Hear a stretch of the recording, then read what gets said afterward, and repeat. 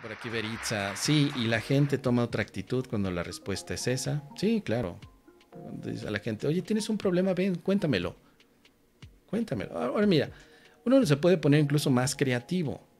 Decir, eh, fíjate que, que yo tengo un problema. Perfecto, dime, déjame anotarlo, porque voy a grabar un podcast donde doy consejos. Entonces, tu problema a mí me ayuda muchísimo porque lo puedo monetizar. ¿Sí? Hay mucha gente que graba videos contando problemas ajenos. Gana dinero, fíjate nada más. Entonces ahí es donde la gente dice, ah, espérame, mejor eh, yo monetizo mi propio problema.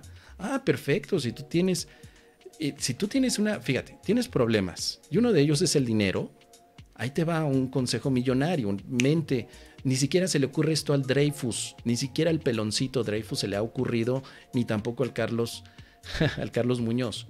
Si tú tienes un problema de dinero, ábrete un canal de YouTube y habla de tus problemas de dinero. Y quéjate de la economía. Y quéjate de todo. No sabes cuántas personas les encanta ver ese contenido. Incluso están dispuestos ellos a ayudarte con el dinero. ¿Quieren que me siga quejando? Denme dinero. Parece broma y parece comedia. Pero de verdad, hoy hay mucha gente haciéndolo.